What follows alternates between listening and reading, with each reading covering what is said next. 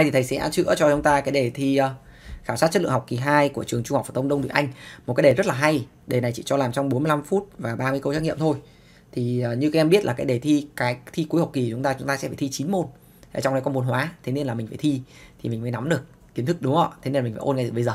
À, ôn ngay từ bây giờ thì sẽ không bao giờ bị uh, nhầm nhọt sang trồng trọt hay không bao giờ bị lỗi cả. Ok ạ, mình bắt đầu làm này. Câu số 1. Câu số 1 này thì ở bên trong những cái đề của thầy á ở bên trong những đề của thầy thì thầy đã từng chữa rất là nhiều rồi. Cho hai hydrocarbon xy là đồng đẳng của nhau. Phân tử khối của x gấp đôi phân tử khối của y. Đây phân tử khối của x gấp đôi phân tử khối của y. Công thức tổng quát của dãy đồng đẳng là thì trong tất cả những dãy đồng đẳng mà à, là dãy đồng đẳng nhau ví dụ như ancan này anken này ankin này ancadien thì chỉ có một dãy đồng đẳng duy nhất mà có phân tử khối của x gấp đôi phân tử khối của y. Đấy. Y này là c2h4 thì gấp đôi của nó là C4H8 chỉ dãy đồng đẳng này thôi. Và CH4 và C4H8 thì nó cùng thuộc một dãy đồng đẳng, nhá. Đấy là dãy đồng đẳng anken được không ạ? Vậy đáp án đúng chúng ta là đáp án C. Và tuyên dương, tất cả các bạn đã comment đáp án sai chất không có khả năng tham gia phản ứng trùng hợp? Chúng ta lưu ý nhé không có khả năng tham gia phản ứng trùng hợp. Thì điều kiện để xảy ra phản ứng trùng hợp ấy, điều kiện để xảy ra phản ứng trùng hợp, đấy là có nối đôi CC anh này có nối đôi CC này, trùng hợp này anh này có nối đôi CC trùng hợp này. Anh này có nối đôi CC trùng hợp này. Xem anh C3H5 CH3 này có nối đôi CC không? Anh C3H5 CH3 này, vì anh này là không có nối đôi CC nó có thể là có vòng. Đúng không? Bọn này đều có nối đôi hết. Nên là ba anh này đều có khả năng tham gia phản ứng trùng hợp. Được chưa? Vậy anh mà không có khả năng tham gia phản ứng trùng hợp là đáp án này nhá 2A câu số 3 câu số 3 cho anken tác dụng với hydro, sản phẩm thu được có tên gọi là đây anh ăn anh ăn ken, anh này là bu bút à pen 1 2 3 4 5 penter. một n. Penter một n mà cộng hero ạ, đợi thầy lấy cái tờ nháp cái. Trong lúc đợi thầy lấy tờ nháp các bạn à, comment đáp án xem nào. Đáp án gì? Ui đề này mấy bạn ở Tây thì Anh ở Đông thì Anh bạn còn làm được à, 9,5 cơ mà. Ui 9,5 thì cao nhỉ. Đây rồi. Để lấy tờ nháp. Đây, thì viết cho chúng ta nhìn. Mình có anh này đúng không? CH2 nối đôi CH CH CH2 CH3 mà cộng với H2 ạ, thì nối đôi bị bị phá vỡ. Được chưa? Đây, nối đôi bị phá vỡ. Để tạo thành CH 2 này. CH này. CH2 chỗ này thiếu 2 CH2 này. CH2 này. CH3 đúng không? Chia hai cái vạch ở đây H đây H đây. Được chưa? Vậy anh này thì sản phẩm thu được thì nó sẽ có tên gọi là gì? Thì nó sẽ có tên gọi là pentan, đúng không? 1 2 3 4 5 pentan, quá dễ. D D nhá. Câu số 4 hydro là carbon nào sau đây thuộc dãy đồng đẳng của ankin hydrocarbon nào sau đây thuộc dãy đồng đẳng ankin thế thì chúng ta phải nhớ ankin là gì, đúng không? Công thức tổng quát của dãy đồng đẳng ankin là gì? Thì công thức tổng quát dãy đồng đẳng của ankin nó là CN H2N trừ 2 đúng không ạ? Và với cái công thức tổng quát CnH2n trừ 2 thì mình có anh CH4 này là anken, CH6 là ancan, C38 là ancan và CH2 là ankin. Đáp án đúng chúng ta là đáp án D, CH2. Câu số 5 Chất nào sau đây có thể tác dụng được với dung dịch AgNO3 trong NH3 đun nóng mà lại cho kết tủa? Tác dụng được với AgNO3 trong NH3 đun nóng mà cho kết tủa.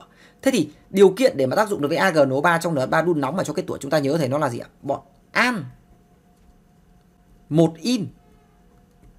Có nghĩa là anh ankin mà có liên kết ba đầu mạch. Được chưa? Anh ankin mà có liên kết ba đầu mạch. Thì những anh đấy nó sẽ thực hiện phản ứng thế. Được chưa? Vậy ở đây mình sẽ có này. Vậy ở đây mình sẽ có này. Propin này. Đấy các em nhìn thấy chưa? Propin này. Cứ có hydro linh động là nó sẽ tác dụng với AgNO3 trong NH3. Vậy anh propin là tác dụng. Đáp án đúng là đáp án này. Anh etan không có anh propen không nhá. Được chưa? Anh bút hay in là không phản ứng này. Bút hay in đây không có liên kết ba đầu mạch nên nó không có hydro linh động nên nó không phản ứng. Được chưa? Sang câu 6 ạ. Sang câu 6 ạ. Số 6. Cho propen tác dụng với dung dịch nước brom ở điều kiện thường thì sản phẩm thu được có công thức là gì? Propen này, đây là propen. Khi cộng với brom thì có phải nó sẽ chia ra hai cái vạch đấy lên cái đôi này. đã chia ra hai cái vạch. Khi mà chia ra hai cái vạch này thì anh brom đính vào đây và anh brom đính vào đây. Được chưa? Vậy sản phẩm của chúng ta không phải anh này. Liên cái đôi vẫn còn bỏ luôn. Hai anh này hai đầu khác nhau, đúng không? Theo cũng không phải. Vậy đáp án đúng của chúng ta đây. Đây nó chính là đáp án D. Nhá. Câu 6 đáp án D. Ờ, số 7 đốt cháy hoàn toàn 0,1 mol hai anken đồng đẳng kế tiếp nhau. Hai anken ở công thức tổng quát là CnH2n. 0,1 mol. Đốt cháy nó. Thì mình thu được gì? Thì mình thu được CO2 và H2O. Mình tìm được số mol CO2 của mình bằng 7,84 chia 2,4. 7,84 mà chia 2,4 thì số mol bằng 0,35 mol. Được không ạ? Với số mol bằng 0,35 mol thì mình có một điều như sau ạ. Hoàn toàn mình sẽ tìm được số nguyên tử carbon trung bình. Thì chính bằng số mol CO2 chia số mol anken. Vậy mình sẽ có số mol CO2 bằng 0,35 chia số mol anken là chia cho 0,1 thì nó bằng là 3,5.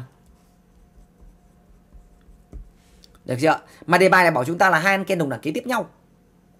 Han Ken đồng đẳng kế tiếp nhau vậy một anh nó sẽ là 3, một anh nó sẽ là 4. Vì vậy mình suy đáp án là một anh là C3H6 và một anh là C4H8.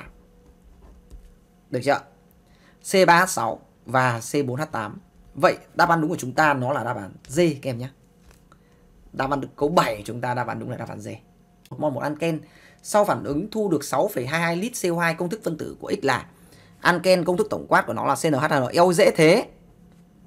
0,1 đốt cháy này mình thu được CO2, mình tìm được số mol CO2 ạ. 6,22 chia 2,4.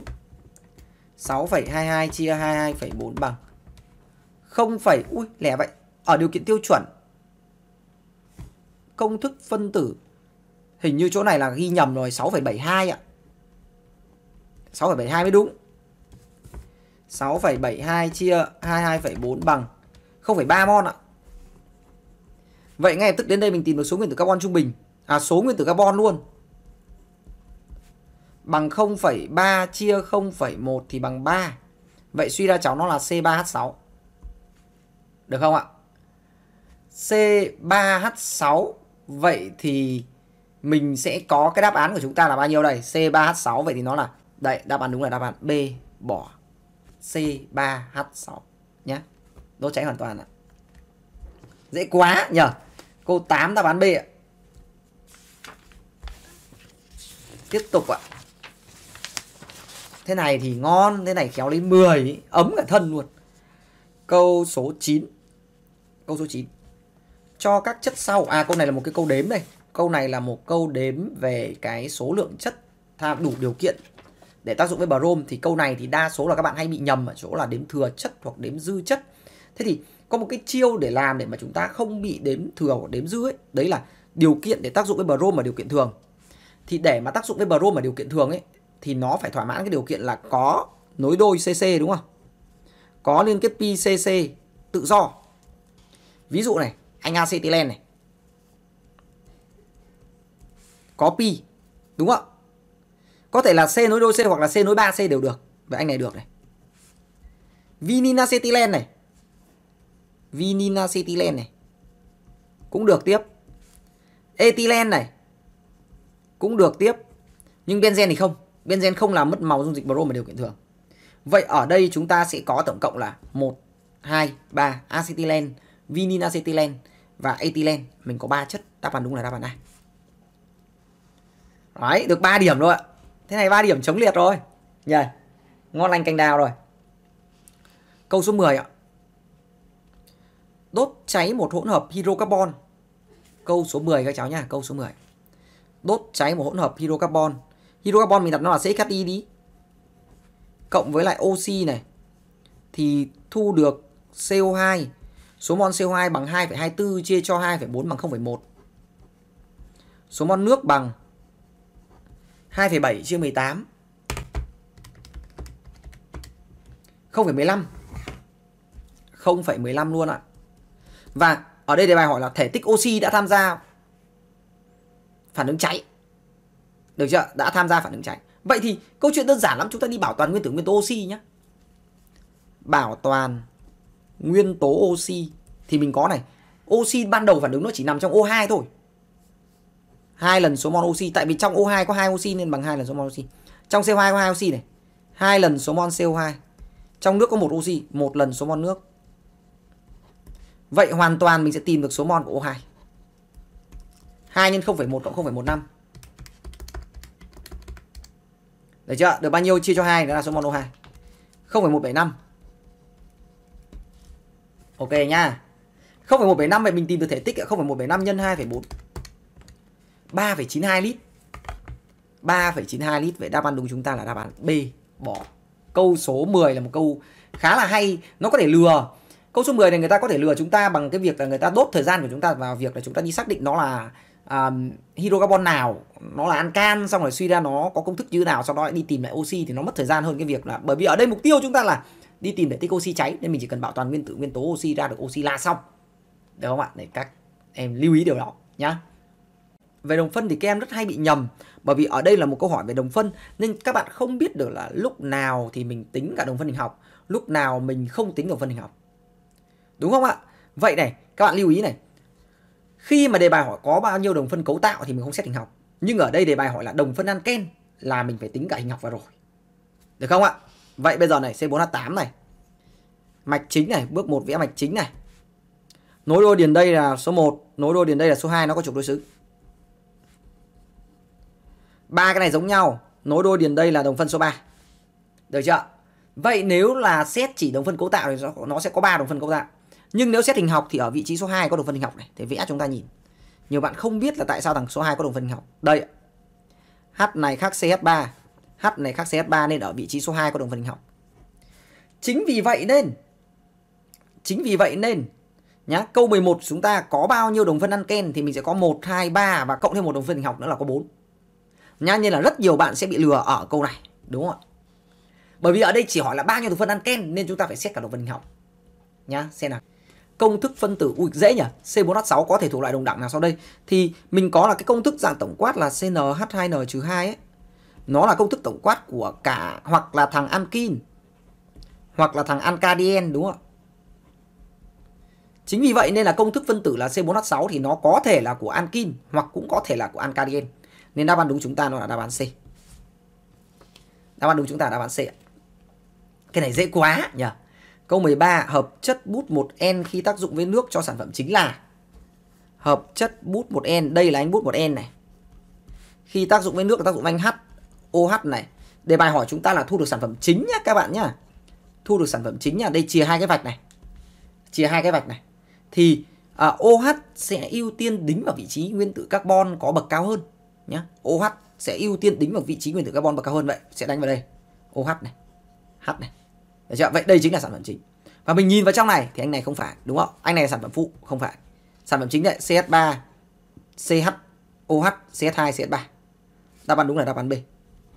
13 đáp án đúng của chúng ta nó phải đáp án B các em nhé Đấy, các bạn cùng nhìn kỹ. Cái đoạn này mình chỉ cần nhìn kỹ một tẹo thôi là mình làm được. Đúng không? Ok mình sang câu tiếp theo câu số 14 một cái câu tính toán á. Câu số 14 ạ, một cái câu về uh, tính toán. Câu 14 ạ. Đốt cháy hoàn toàn một ankin, may quá để bài cho ông ta là ankin. Ankin thì mình sẽ có công thức tổng quát là CnH2n-2 các em nhé. Đốt cháy nó này thì mình thu được hỗn hợp gồm CO2 và H2O, mình tìm được số mol CO2 bằng 11,2 chia cho 2,4 thì bằng 0,5. Số mol nước bằng 7,2 chia cho 18. 7,2 chia 18 bằng 0,4. Thế thì có phải là chúng ta luôn luôn có là NCO2 trừ N nước thì luôn bằng N ankin không? Vậy mình sẽ tìm được N ankin bằng 0,5 trừ 0,4 bằng 0,1. Đúng không ạ? Vậy ngay lập tức từ đó mình sẽ tìm được số nguyên tử carbon. Nó sẽ bằng là số mol CO2 là 0,5. Chia 0,1 thì bằng 5. Vậy hoàn toàn mình sẽ tìm được nó là C5H8. Được chưa? Đây chắc chắn là gõ lỗi. Đây là C5H8 này. Có mỗi anh này thôi mà. Được chưa? C5H8 đáp án A chắc chắn là đáp án A có lỗi rồi. A. À. Ok nhá, câu 15 ạ. Hợp chất C2H5OH có danh pháp là gì? Úi rồi. Cái này lại phần ăn côn nhỉ? Này phần ăn côn nhiều bạn chưa học đến đâu. C2H5OH thì tên gọi của nó là ethanol nhé cả nhà nhé. Ethanol D. D nhá. Câu 16 này trông hơi dài dài, hơi cứng cứng nhỉ. 16 hơi dài dài, hơi cứng cứng đánh dấu sao để lại tí giải sau. Tí giải sau. Câu 17 nè. Cho natri phản ứng với kế tiếp nhau. Cái này tí cũng giải sau bởi vì cái này ở phần ăn cô nhiều bạn chưa học. Câu 18 ạ. Hợp chất X có tên gọi là 3 metin bút 1N. Công thức phân tử là Thế mình phải vẽ cái 3 metin bút 1N ra đã xem nó là gì. Được chưa? Đây, 3 metin bút 1N này, bút 1N này, 3 metin 1 2 3. Đây. 3 metin bút 1N. Vậy suy ra nó là C5 H10. Ok, đáp án đúng của chúng ta là C5H10, đáp án đúng là đáp án C. C5H10 nhá. Xịn chưa? Câu 19 ạ. Ancol no đơn chức mạch hở là hợp chất hữu cơ mà phân tử có nhóm OH chứ không cần là một nhóm liên kết với nguyên tử carbon no. Được chưa? Nhóm OH liên kết với gốc hydrocarbon no chưa chuẩn. À, no đơn chức mà thì nguyên tử OH liên kết với gốc hydrocarbon no là chuẩn nhất. Đáp án đúng là đáp án B ạ. Ui, câu 19 đáp án B. Lừa phết đấy. Đề lừa phết đấy các bạn ạ. Khá là lừa luôn. Câu 19B bạn nào à, bạn nào mà làm được B là bạn ấy đúng chuẩn luôn. Câu 20 ạ. 20. Đốt cháy hoàn toàn một hydrocarbon X. Mình thấy nở nước lớn hơn NCO2 rồi. Đi làm mà mình cứ nhìn thấy nở nước lớn nở NCO2 chắc chắn nó là ancan.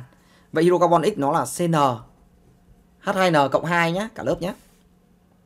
Thế thì vậy nó là ancan thì mình lại còn có là N của nước trừ đi NCO2 thì chính bằng N ancan đúng không?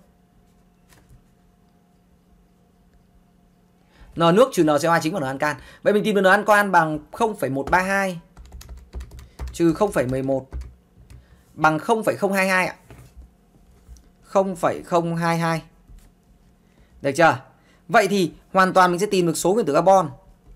Nó chính bằng số mol CO2 chia cho số mol ancan. Số mol CO2 bằng 0,11, số mol ancan bằng 0,022. Vậy nó bằng 5.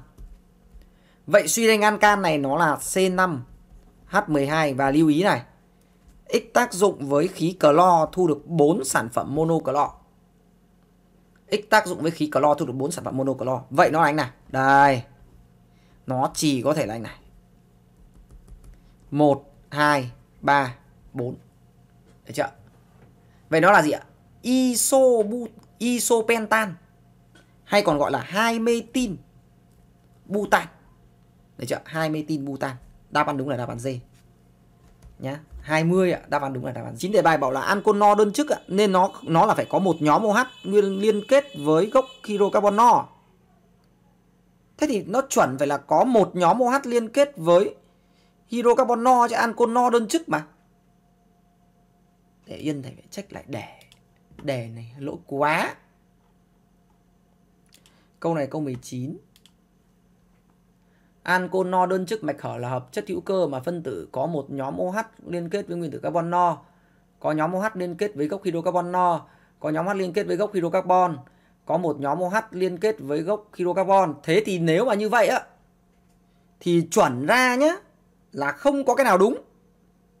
Bởi vì no đơn chức thì nó phải là một nhóm OH liên kết với có một nhóm chỗ này nếu mà chuẩn nhất là B nó đúng là phải là một nhóm OH liên kết với gốc hydrocarbon no.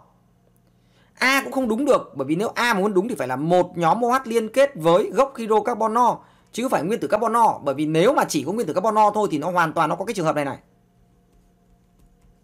Thì đây là nguyên tử carbon no này. Khả năng cao thì nghĩ câu này sai đề. Có nghĩa là câu này không có đáp án đúng. Còn nếu mà muốn B đúng thì phải thêm là có một nhóm OH liên kết với gốc hydrocarbon no. Ok ạ. Thế nên thôi mình vẫn cứ chọn là B nhá, 19B. Thêm là có một nhóm OH liên kết với gốc hydrocarbon no. Chứ còn cái A này không đúng đâu. Cái A này một nhóm OH liên kết với nguyên tử carbon no. Thì đây OH này, đây này, OH này vẫn liên kết carbon no nhưng nó không phải là ancol no đơn chức bởi vì đây là ancol không no. đơn chức nhưng mà thầy nghĩ là nếu mà đáp án của bên trường của em là dễ là dễ là A thầy nghĩ là đáp án ở trên trường dễ là A được chưa nhưng mà cái này không phải là A A không thể chọn đúng được bởi vì ancol no đơn chức mạch hở là hợp chất hữu cơ mà phân tử có một nhóm H liên kết nguyên tử carbon no. Thì đây đây là O một OH này, liên kết với một carbon no này. Nhưng mà carbon này vẫn không no. Nên nó là ancol không no. Các bạn lưu ý nhé được không ạ? Đề này lỗi mất phát này. 21 ạ, trong các dãy chất sau, dãy nào chứa các chất đều là đồng đẳng của ancan vậy công thức của ancan là CnH2n cộng 2 Vậy để là đồng đẳng của ancan thì nó phải có cùng công thức tổng quát là CnH2n cộng 2 nhá. Được chưa? Vậy này, C3H6 này là anken, bỏ. C6H12 là anken, bỏ. Đúng không? Nó là dạng CnH2n mà. C2H4 này là anken, bỏ. Vậy đây có CH4, C3H8, C4H10 và C6H14. Nhá. Đáp án đúng của chúng ta là đáp án D. Được chưa? Đáp án đúng của chúng ta là đáp án D ạ. Ok nhá. Đấy là mình xong câu 21 đáp án D. Mình sang câu 22 ạ. Có bao nhiêu đồng phân cấu tạo có công thức phân tử là C5H12 Thầy check lại đề tí. À, C5H12 6 4 5. Chỗ này bạn này gõ lỗi 3. Này là bạn gõ đề lỗi ạ. Thầy vừa check lại đề, thầy có ảnh đề mà. Bạn uh, Bao nhiêu đồng phân cấu tạo công thức C5 12 thì dễ quá. Mạch chính là mạch C5 này, 5 cộng 0 này bạn nào học khóa học của thầy là biết liền. Này tô được luôn đáp án, nhưng mà những bạn nào đây là thầy chữa kỹ cho những bạn nào mà chưa học khóa của thầy. Đây. Các bạn nhìn rõ chưa? 5 đồng phân. Nhá. Các bạn nào học khóa thầy các bạn biết là tại sao nó có 3 đồng phân này cơ. Đáp án đúng là đáp án D. Câu 23. Đốt cháy hoàn toàn 2,24 lít hỗn hợp A gồm Hỗn hợp A chúng ta số mol 2,24 là bằng 0,1. Hỗn hợp A gồm CH4, C2H6, C3H8 đốt cháy nó thì thu được CO2 và H2O. Số mol H2O chúng ta bằng 7,2, 7,2 chia cho 18 ạ. 7,2 chia 18 bằng 0,4 mol. Vậy số mol H2O chúng ta bằng 0,4. Đề bài muốn tìm số mol CO2 thì bây giờ các em nhìn này nhá, nhìn chung quy này. Tất cả bọn này có phải là ancan không? Đúng không ạ? Ancan là công thức tổng quát là CnH2n cộng 2 đúng không? Vậy là mình đặt công thức tổng quát của anh A này là CnH2n cộng 2. Vậy có phải mình sẽ có là N nước trừ N CO2 thì chính bằng N ancan không? Đúng không ạ? Vậy hoàn toàn mình sẽ tìm được N của CO2 nó chính bằng n nước trừ n ancan không? Và bằng bao nhiêu ạ? Đây ạ, n nước là 0,4, 0,4 trừ 0,1 bằng 0,3. Vậy số mol CO2 của chúng ta bằng 0,3, vậy mình tìm được V bằng 0,3 nhân 2,4 bằng 6,72 lít. Đáp án đúng đáp án C. 6,72 lít nhá. Câu 23 đáp án C. Con nào sau đây là hydrocarbon thơm thì mình phải nhớ được công thức tổng quát của hydrocarbon thơm nó là CN H2N-6 đúng không ạ? Với điều kiện N lớn bằng 6. Vậy nó không thể là CH2, không thể CH4 được, không thể là CH6 được. Nó chỉ có thể là C6H6 đúng không? Mình phải hiểu cái định nghĩa hydrocarbon thơm nhé. Hydrocarbon thơm là gì? Hydrocarbon thơm là hydrocarbon mà trong phân tử chứa vòng benzen thì được gọi là hydrocarbon thơm. Câu 26 ạ. 26 là một bài ăn cô tách nước. Hỗn hợp gồm ethanol. Ethanol là CH3 này, CH2 này, OH này và butan 2 ôn. Butan 2 ôn là CH3 này, CHOH này, CH2 này, CH3 này. Khi cho qua H24 đặc 170 độ C thì nó tách nước.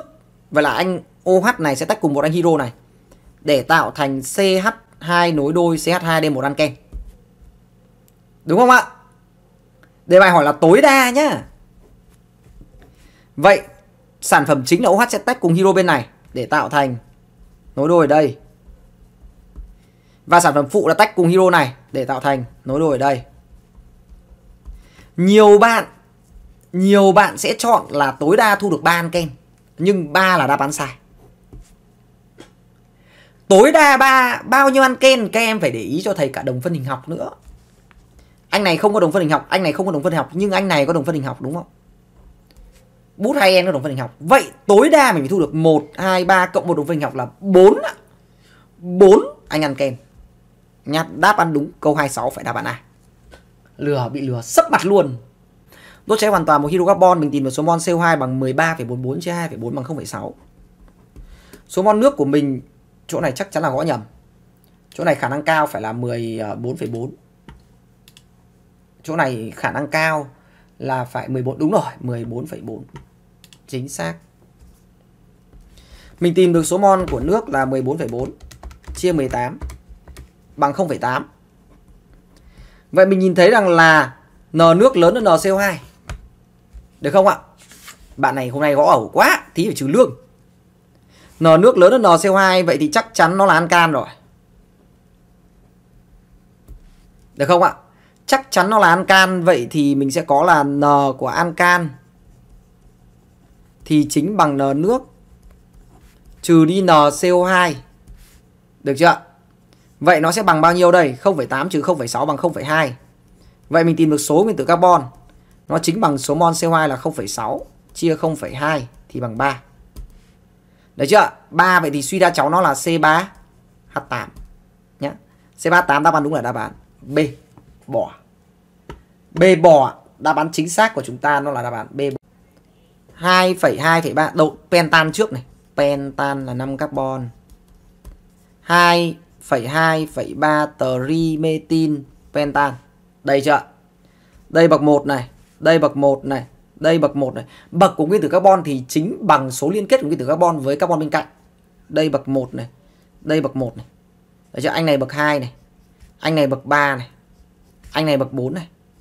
Vậy số nguyên tử carbon bậc 1 là 1 1 2 3 4 5 chúng ta có tổng cộng là 5 anh nguyên tử carbon bậc 1 vậy đáp án đúng của chúng ta là đáp án D. 5 nguyên tử carbon bậc 1 câu 30 ạ. Câu 30 câu 30 chắc chắn là lại gõ lỗi luôn. Câu 30 chắc chắn là gõ lỗi luôn. À không gõ lỗi luôn. CH CH3. thế này là do, thế này thì là à, do đề rồi đề biểu thị như này là đề biểu thị sai các em nhá. Đề vẽ như này là đề vẽ sai, đáng nhẽ phải có dấu ngoặc đơn. Nếu chuẩn là bọn em kiến nghị, phần này là bọn em được cộng điểm. Thầy vừa nhìn lại đề, không phải là do gõ lỗi. Cái này là chỗ này là là đề là đề đề trình bày này là sai, bởi vì người ta đã quy định rõ là nếu mà là ở dưới nhánh thì phải mở ngoặc đơn. Ở đây viết liền này mà không mở ngoặc đơn là sai.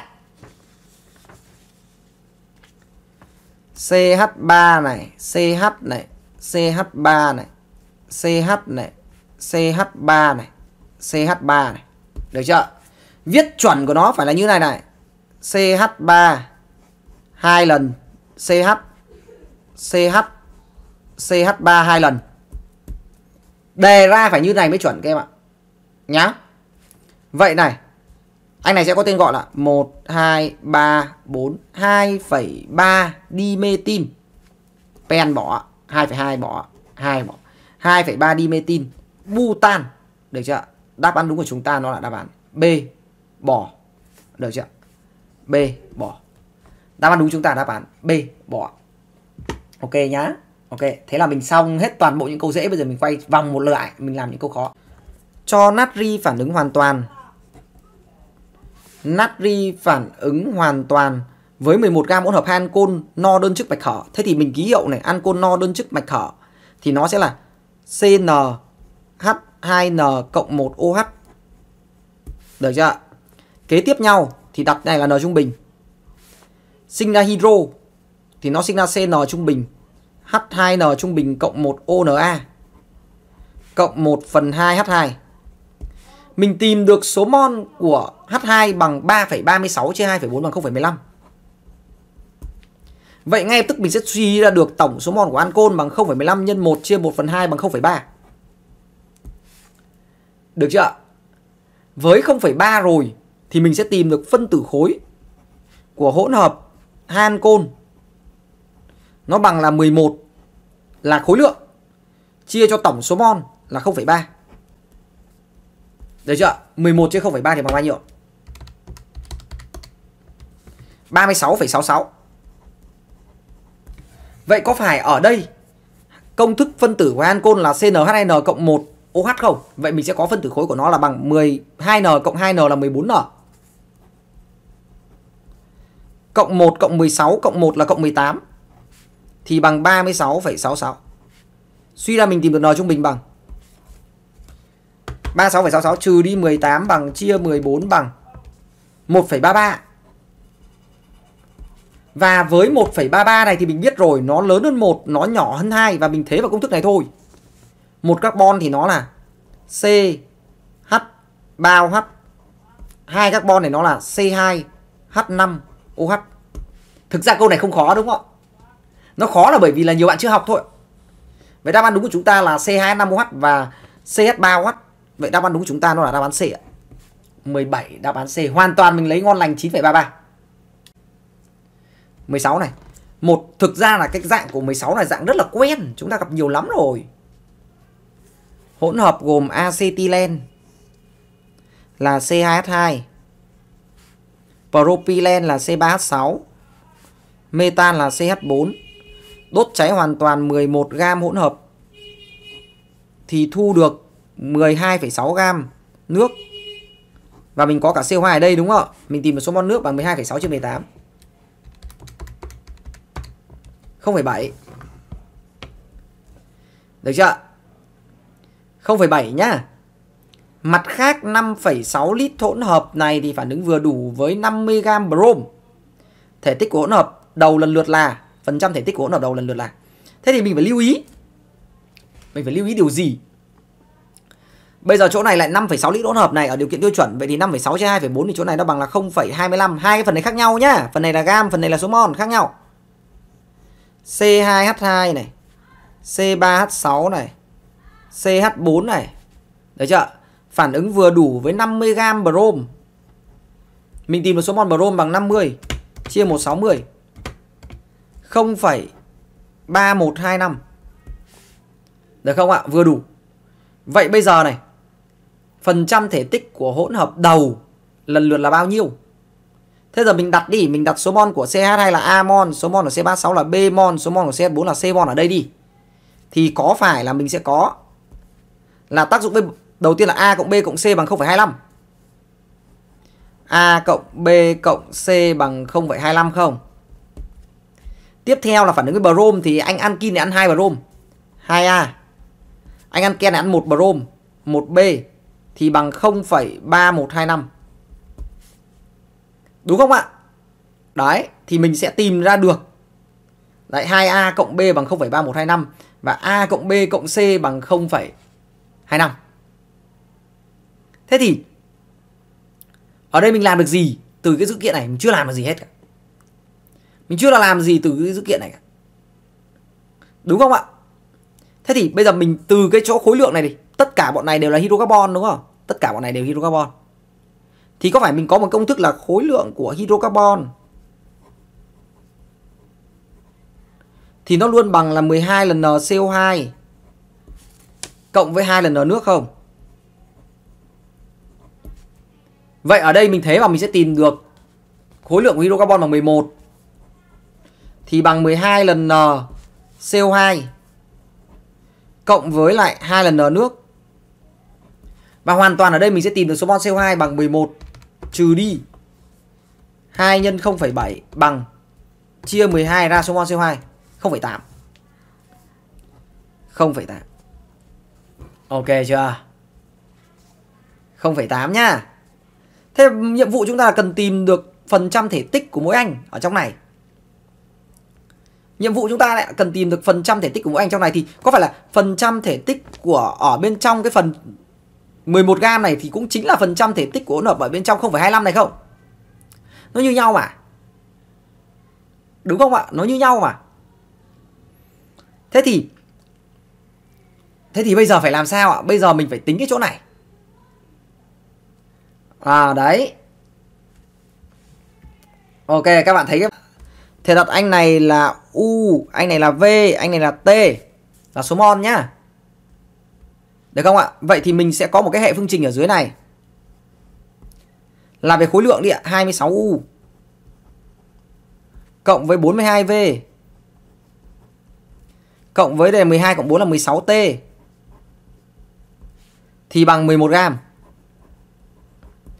Phương trình thứ hai thì bảo toàn carbon cho dễ. 2U cộng 3V cộng T bằng 0,8. Thêm một phương trình đã giải được UVT. Đúng chưa?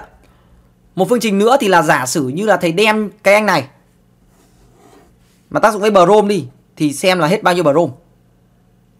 Đúng không ạ? Thì anh này mà tác dụng với brom ấy thì nó sẽ hết là bao nhiêu ạ? 2U cộng V mol brom. Đúng không? Vậy là 11 gam anh này thì tác dụng hết 2U cộng V mol brom. Thế vậy mình sẽ có này. U cộng V cộng T chia 0,25. U cộng V cộng T chia 0,25 thì chính bằng nếu mà U mon CH2 thì ăn 2 U mon brom đúng không ạ? 2 U cộng với nếu V mon C3H6 thì ăn V mon brom V chia cho đây đây là số mon brom mà nếu mà 11 gam này tác dụng chia cho 0,3125 mon brom. Và đến đây mình giải hệ này mình tìm được U, V và T. Được không ạ? Các bạn cũng bấm máy tính cho thầy xem U bao nhiêu, V bao nhiêu, T. U bằng 0,125, V bằng 0,0625 và T cũng bằng 0,0625. Được chưa? Trong 11 gam này nhé. Trong 11 gam này thì mình tìm được đây, mình vừa giải hệ này U bằng 0,125 mình ghi luôn đây. 0,125 V bằng 0,0625 và T bằng 0,0625 Vậy hoàn toàn ở đây mình sẽ tìm được phần trăm thể tích của CH2 Đây Xem phần trăm thể tích nào nhá 0, 0,125. Vừa nãy là tính nhầm ạ. 0 U bằng 0, 2 V bằng 0,1 T bằng 0,1 Vậy ở trên này nó là 0,2 0,1 và 0,1 ok ạ. Cảm ơn các em. Vậy mình tìm được được uh, phần trăm thể tích nhá. 0,2 chứ 0,4 bằng 50% nhỉ. Vậy anh này là 50%, 25% và 25%. Đấy, các em thấy bài này giải hay không? Bá đạo không? Xịn chưa? 9,5 nhá. 9,5 rồi. Đây là một bài mà rất hay thi, rất dễ hay thi các em cần phải lưu ý. 27 cho butan. Tác dụng vừa ở nhiệt xúc tác ở nhiệt độ cao. Đây là cracking rồi. Thu được hỗn hợp gồm C4H10 dư, C4H8, C4H6 và H2. DX tỷ khối của X so với butan là 0,4. DX so với butan là C4H10 bằng 0,4. Đấy chưa? Thế thì ở đây mình có cái điều gì? Ở đây mình có là D trước Muốn giải nhanh cái này mình phải siêu cái chỗ này D trước chia D sau bằng N sau chia N trước Dĩ nhiên mình biết là D của C4H10 so với C4H10 thì nó bằng 1 rồi. Thì đây là D trước, đây là D sau. Được chưa? Vậy D trước bằng 1. D sau bằng 0,4. Được chưa? Dễ chưa? Vậy này, N sau chia N trước bằng 1 chia 0,4. 1 chia 0,4 bằng 2,5. Thế đây nếu đề bài cho 0,6 mol x chính là N sau đấy ạ. Thì mình tìm được N trước. Nó bằng là 2,5 nhân với đây, N sau 0,6 mol x đấy. 0,6 mol x là N sau đây còn gì nữa. ạ? Đúng không ạ? Thì N trước nó sẽ bằng là N sau là 0,6 chia 2,5. 0,6 chia 2,5 Hơi bị kinh. 0,24 N sau bằng 0,24 Thì có phải Chúng ta nhìn nhá. Số mol vậy suy ra này. N trước bằng 0,24 Vậy số mol CH4 ban đầu là bằng 0,24 Nếu mình bảo toàn nguyên tử nguyên tố carbon Đây, đây C4, đây C4, đây C4 Thì tất cả tổng số mol bọn này cũng là bằng 0,24 không? Đúng không ạ? Vậy mình suy ra được số mol hydro bằng 0,6 trừ 0,24. 0,6 trừ 0,24 bằng 0,36. Số mol hydro bằng 0,36. Ok chưa? Thì nếu số mol hydro mà bằng 0,36 ấy thì ngay lập tức nó chính bằng số mol tác dụng với brom bởi vì đây chính là số mol brom BP sinh ra 0,36. Được không ạ? Ngoài ra ở câu này mình làm theo C trung bình cũng được nhưng mà nó không hay đâu. Làm câu này xịn hơn. Được chưa? Đáp án đúng của chúng ta là số mol brom tối đa phản ứng là 0,36 mol. Đấy, cái phương pháp này phương pháp tổng quan nhá. Đáp án đúng là đáp án B bỏ. B bỏ. Một hỗn hợp X gồm hai hydrocarbon AB cùng dãy đồng đẳng. X gồm hai hydrocarbon gồm A và B cùng dãy đồng đẳng đều có số nguyên tử nhọn 7. Carbon nhọn 7. Tỷ lệ mol của A và B là 4 trên 5. 4A thì thành này là 5A. Đốt cháy hoàn toàn hỗn hợp X bằng oxy. Rồi dẫn toàn bộ sản phẩm. Thu được CO2 và H2O. Dẫn toàn bộ sản phẩm qua bình 1 chứa H24 đặc dư.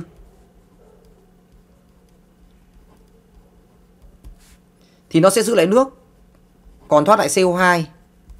Sau đó dẫn qua bình đựng BA hoặc hai lần. Bình 2 đựng BA hai lần. Số mol BaH là 1 nhân với 0,89 bằng 0,89. Được chưa? Thì khối lượng bình 1 tăng lên 14 gram, vậy M bình 1 tăng chính bằng M nước.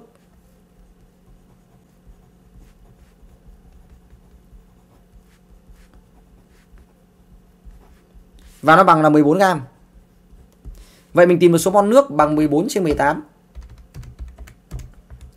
0,7. Ui chu kỳ 7 à. Tăng 14 gram biết có đúng không? Để anh thầy nhìn xem nào.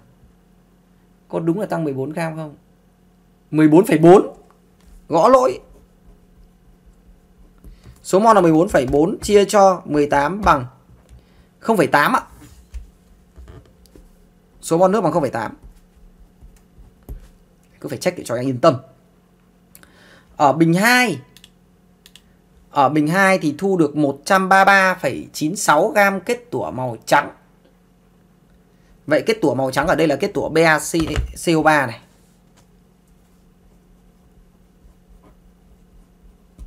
Được chưa? Thì mình sẽ có số mol kết tủa là bằng à, 133,96 133,96 chia cho 197 thì bằng 0,68 Thế mình lưu ý nhá, đây là sụp vào BA hai lần.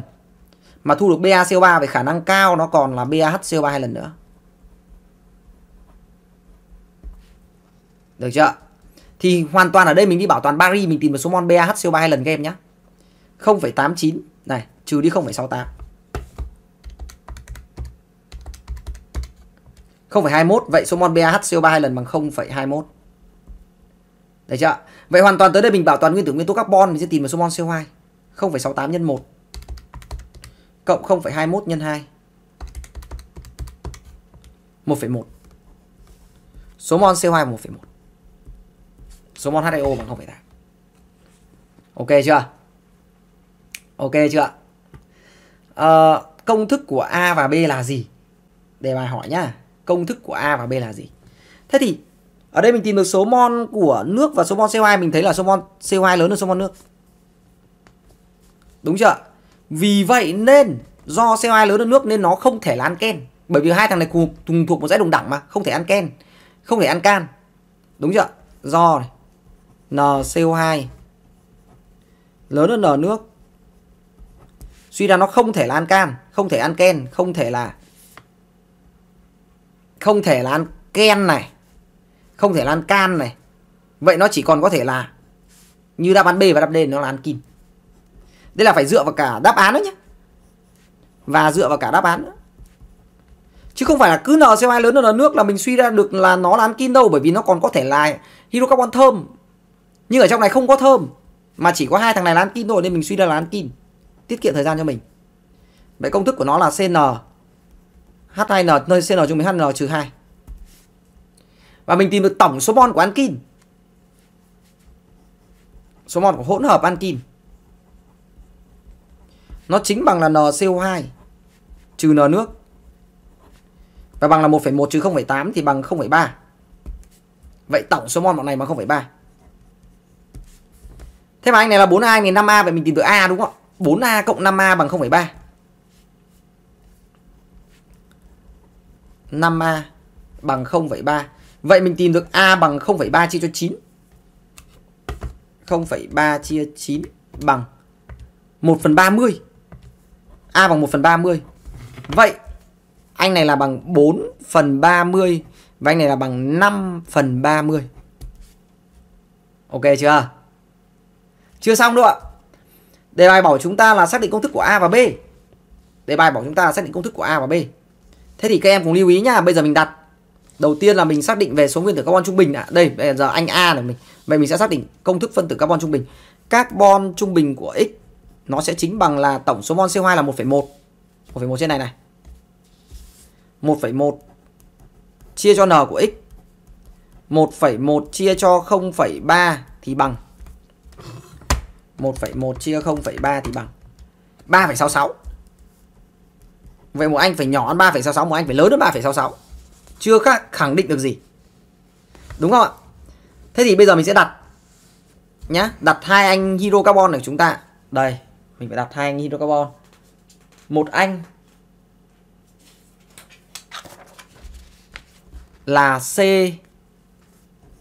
N H2N trừ 2 Số mol là 4 phần 30 Một anh là CM H2M trừ 2 Số mol là 5 phần 30 Mà ra được CO2 mình bảo toàn carbon.